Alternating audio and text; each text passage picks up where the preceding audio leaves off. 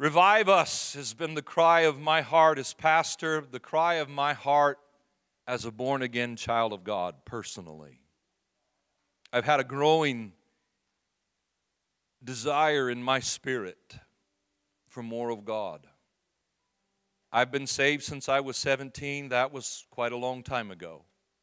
And I've experienced the Lord in many wonderful ways over the course of my relationship with Him.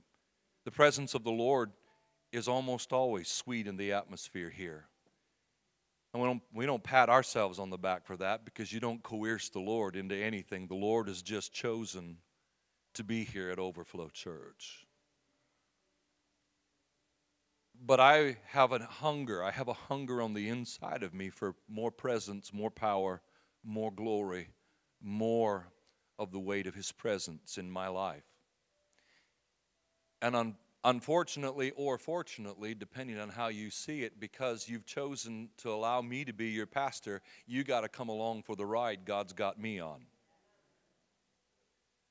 And the, ride is heading toward revival, heading toward more of His glory. And that's what we've been talking about. And last week we came around to talking about the house cleaning and readying ourselves for revival. And we talked about realizing the value of revival. Now, I'm not going to preach that message again, but I'm going to build upon it. But I want to ask you some questions. Now, I like your amens and I like your affirmative answers and I like you responding to my preaching. I want you to do that, except these next. I've got four questions to ask you, and I just really want you to reflect on them. And then you can start amening again, okay? Do you believe there is more of God to experience in this life? Are you interested in experiencing more of God in this life? Here's the big question Are you willing to do what it takes to experience more of God in this life? Because while grace is free, glory is not. Do you value revival and long for more of God's power and presence in your life?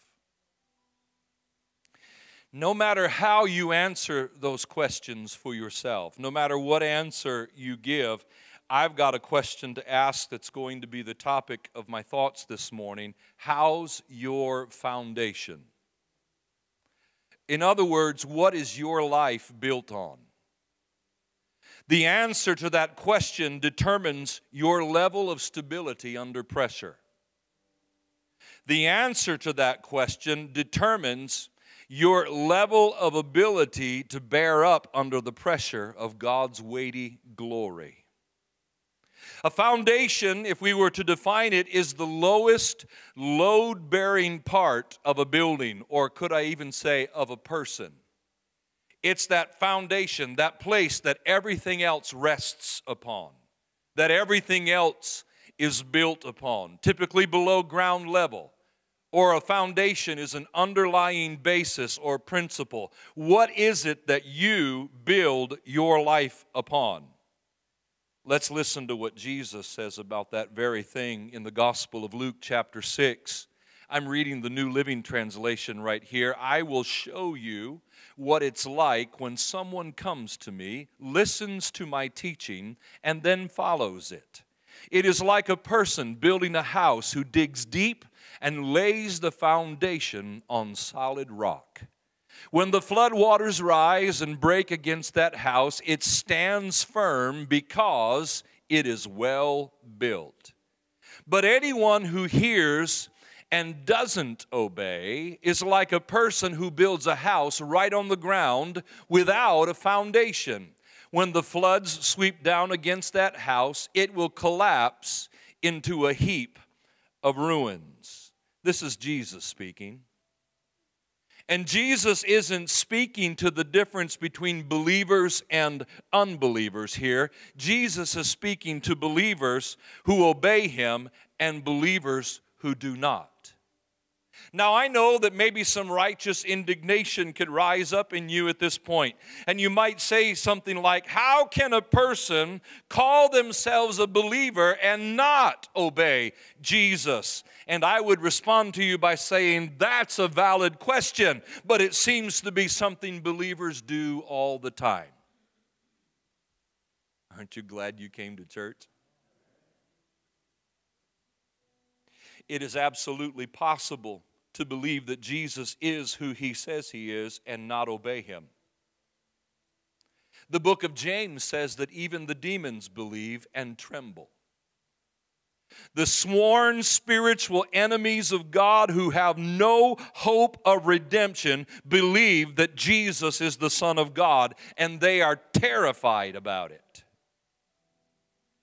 Even the enemies of God the spiritual enemies, those spiritual principalities, know who Jesus is. And James declares they believe and they are terrified. To have a strong spiritual foundation, we must believe and obey Jesus. To have the ability to bear up under the pressures of this life, we must believe and obey Jesus to become capable of hosting the presence of God, we must believe and obey Jesus. I'm a grace preacher, I'm a grace believer, and I always will be as long as the Lord allows me to stand behind a pulpit. But grace without obedience is cheapening the work of God. Jesus says in the Gospel of John, chapter 14 and verse 21 He who has my commandments and keeps them. Say those three words with me and keeps them. It is he who loves me. And he who loves me will be loved by my Father, and I will love him and manifest or reveal myself to him. Do you want more of God in your life? Do you want a greater revelation of Jesus in your life? Do you want more of his glorious power and presence in your life? Do you want to walk with more of the favor of God on your life? Know his commandments and keep his commandments. He says, if we do these things, we are the ones that love Him. Can we honestly say, I love you, Lord, while we willingly ignore, neglect, or disobey any of His commandments? Oh, Pastor Jeff, that's hard. It's Christmas, man. Lay off. Well, Jesus asked the same question in Luke 6 and 46 Why do you call me Lord, Lord, and not do the things which I say? That's a nice kick in the gut, isn't it? But listen, if we're really hungry for more of God, that means we're going to be willing to do whatever it takes to get to more of God. And that means we're going to have to make sure our foundation is laid correctly. We're going to have to make sure it's built in the right place. We're going to have to make sure that we hold to what Jesus said. Now, clearly, God is patient with us. Amen to that. That He is incredibly merciful and He works with us as we work out our salvation. All of us are on, we're, we're heading toward the same place if we're following Jesus. We just don't all arrive at the same time. We're all working out our own salvation. But if we are going to be strong in the Lord when the storms of life, and 2020 has been a pretty good storm. If we're going to be strong in the face of those storms, and if we are going to become the containers for the glory of God, we are going to have to build upon the bedrock of faith and obedience to Jesus. In fact, we're kind of like Saul was, King Saul back in the day. He was hoping that his outward show of praises would be enough. But when Samuel got there, he said, Obedience is better than all of your sacrifices. You can make all the noise you want worshiping me. You can make all the noise you want about giving sacrifice unto me, but obedience is better than sacrifice. Can I tell you this morning that grace always leads us to obedience to Christ? The church in America in 2020 needs to grab a hold of that fact because there have been too many preachers that have cheapened the gospel by saying that grace covers every action, every thought, every deed, every word. It sure does if you're following Him with all your heart. But if you're playing with the world, you're not keeping His commandments and doing the things which He says. Therefore, you cannot honestly call Him Lord. Oh, by the way, y'all got to love me to get to heaven. 1 John 5 and 3, the beloved apostle wrote, Loving God means keeping his commandments, and his commandments are not burdensome. The only part of us that hates the sound of this is our flesh, which was supposed to be crucified at the cross.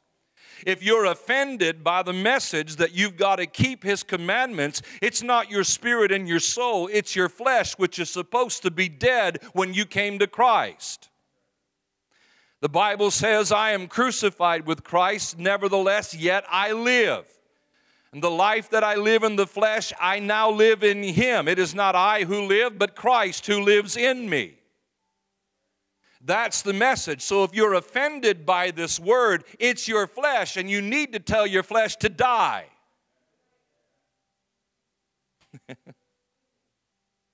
Merry Christmas. As long as we are talking about our foundation this morning, let's talk about fixing the cracks. Allow me to put this another way that might help us understand this because I believe that most of you, if not all of you this morning, believe that you have a strong foundation and you do your best to do the things that please the Lord. I believe that I am in the company of fellow believers. I believe that you're the people of God. Now, I don't know all of you personally, and we don't spend a lot of time in social settings outside of this one, so I'm not following you around in life. Yes, if you think someone's following you, it's not me. I'll never do it. I have no interest in doing it. You better ask God about it. Hopefully, you don't have any ties to the mob.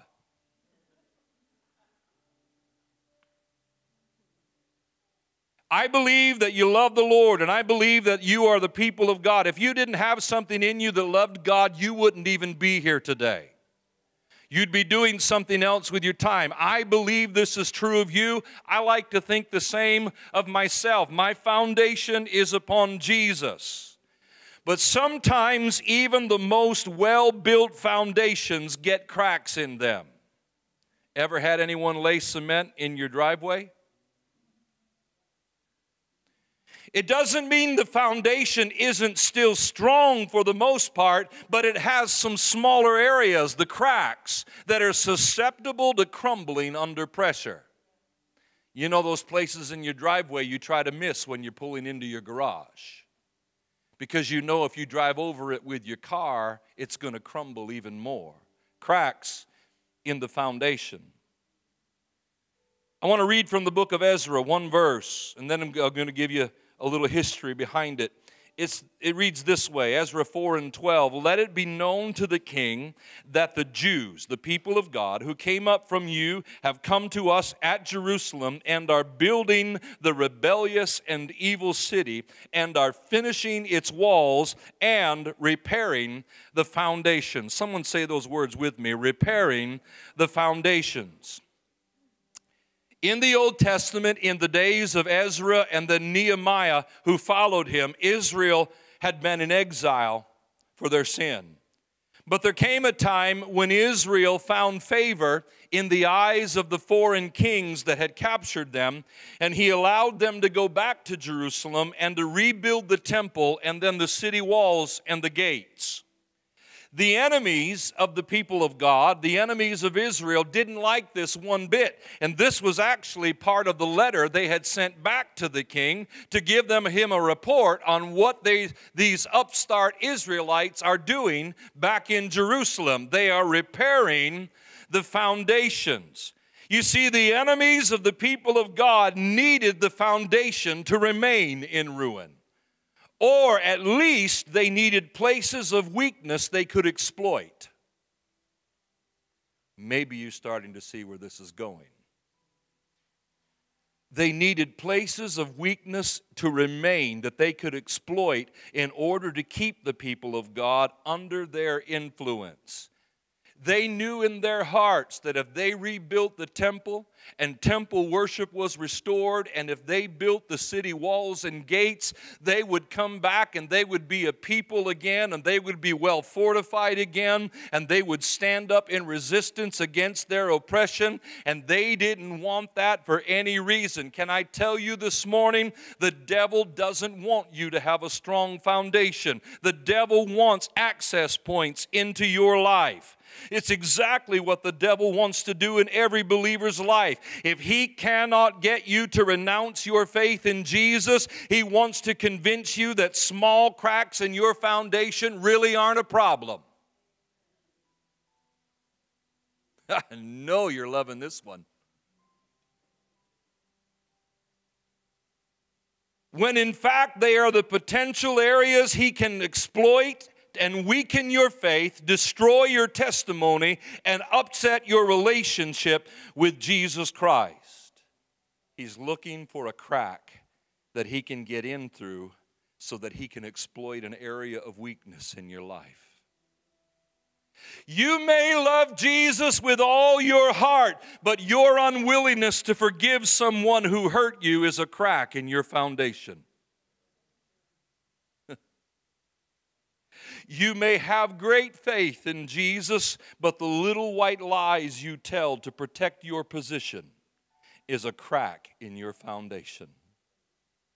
You may engage frequently in leading others to faith in Christ Jesus, but your critical spirit is a crack in your foundation. You may worship Jesus openly in church services, but you're bent toward gossip is a crack in your foundation. You may confess great faith in God, but your secret fears are a crack in your foundation. And I know that right now you're hoping that I would stop naming the cracks.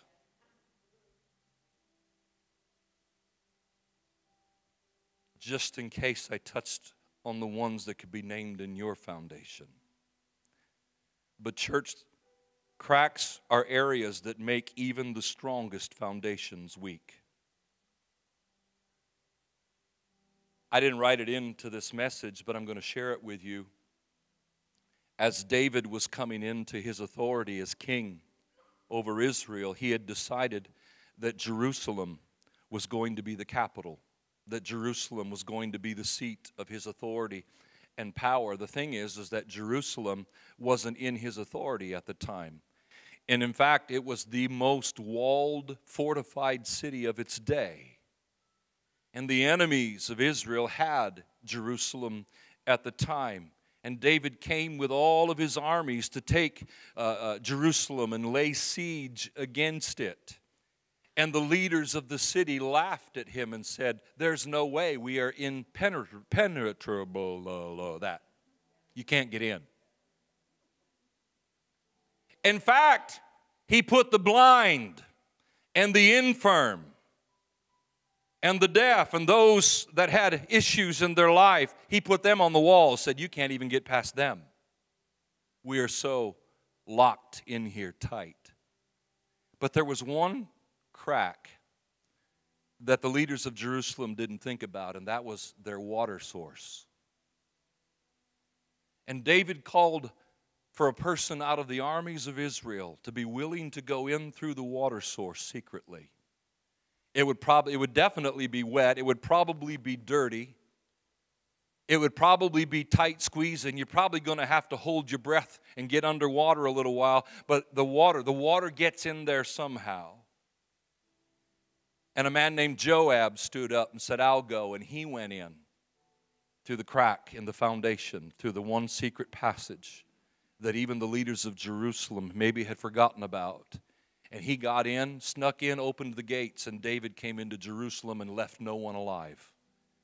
And took Jerusalem and sieged it and captured it, and it became the capital of Israel under his 40 year reign as king. At least most of the years of his 40 year reign. My point being, my point being, there was one crack in the foundation, one way in that they didn't realize about. I wonder what the enemy's way is into your life. I wonder what crack could be named in your life. I want to read from the Song of Solomon. I don't know that I have ever, ever, ever read from the Song of Solomon in a sermon, all the 27 years of ministry. I don't know that I have ever preached a sermon included the song. So here it is. This is history for Overflow Church right here. It says, Catch us the foxes, the little foxes that spoil the vines, for our vines have tender grapes. For the believer, it's not the big, grievous sins that are the issue. Most Jesus followers agree that there are some big things we just don't engage in, right? But it's the little foxes that spoil the vine. The things that we think are insignificant, the things we believe grace gives us a pass on. The little struggles that are easy to ignore or not address are actually the very things the devil will exploit. The little areas that we reserve for ourselves, those little secret things we never tell about anybody, we never tell anybody about. Those little areas of our life that we're too embarrassed to address or, or, or, or even look at things that we ignore, set aside, little activities that we may do that seem harmless in and of themselves, and I, am leaving that little area for my life. Now, I'm not suggesting that we become legalistic because I hate legalism. I believe in the power of God's grace, and I believe that that's the covenant that we are under. But I also believe that if we ignore the little areas of disobedience that we allow for ourselves, the very cracks in our foundation that the Holy Spirit has been convicting us about, if we allow it and let it continue, they will become the reason our house gets swept away by the storms. They will become the reason that we are unable to bear up underneath the weight of His glory as He rests upon us. Just because your culture or subculture embraces something doesn't mean that God is good with it if it's in opposition to His commandments. Just because it's legal doesn't mean it's moral or acceptable to God. And just because we've gotten away with it for so long does not mean that God is ignoring it.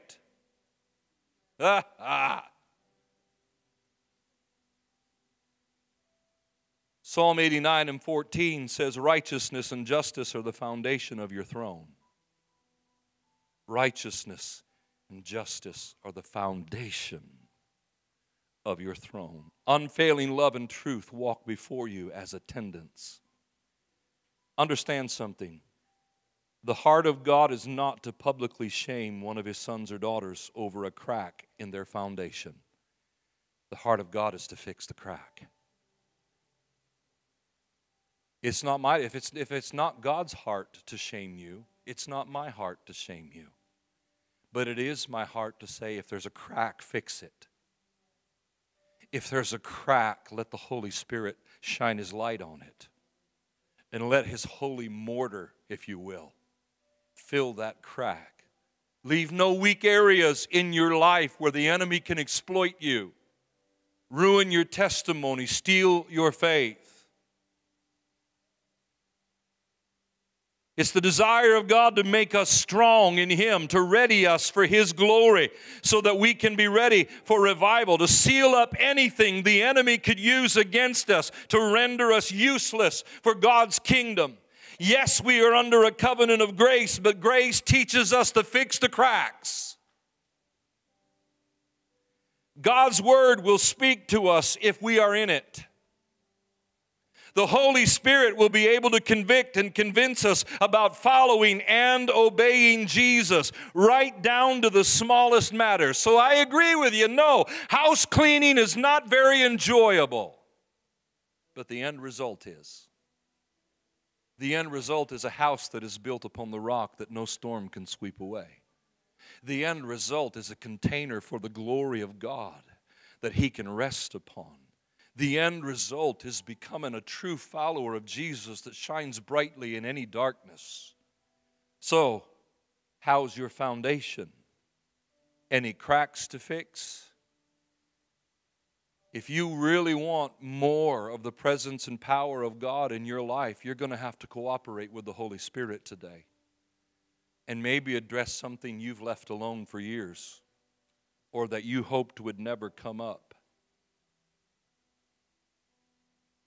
If you really want more of the presence and power of God in your life, if you really want the glory of God to rest upon your life, fix the cracks. If for no other reason, fix the cracks for your testimony's sake. Fix the cracks so nothing can be used against you. When you stand up for Jesus, somebody can't point their finger and accuse you. Fix the cracks, and your house will be strong, and revival can come to your life. How's your foundation? Stand with me this morning.